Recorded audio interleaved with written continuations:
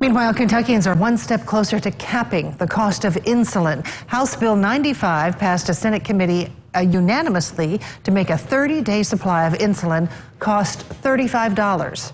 Originally, the bill called for insulin costs to sit at $30 instead of $35, but lawmakers changed to match Medicare's copay. The bill now heads to the full Senate, but if it passes there, it will go back to the House since the bill changed after the House passed it.